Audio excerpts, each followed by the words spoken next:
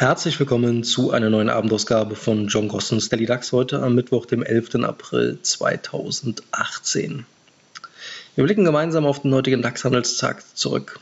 Dieser verlor 0,83% oder etwas mehr als 100 Punkte.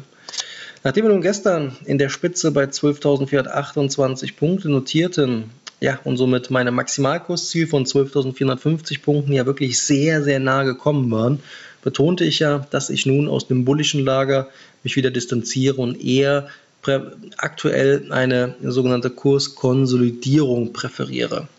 Und ja, in der Tat ist die erste, bzw. der erste Rückschritt Dämpfer nun auch für den deutschen Aktien ist eingetroffen. Heute Abend noch 20 Uhr FOMC Sitzungsprotokoll in den USA. Das heißt wieder die Richtungen